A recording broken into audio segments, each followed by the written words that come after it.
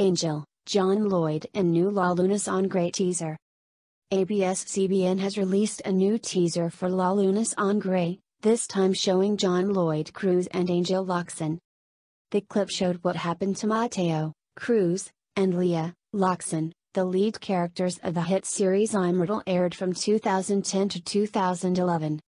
Starring the, the popular love team of Kathryn Bernardo and Daniel Padilla, La Luna Sangre is the third installment of the hit fantasy franchise, after Lobo and Imortal.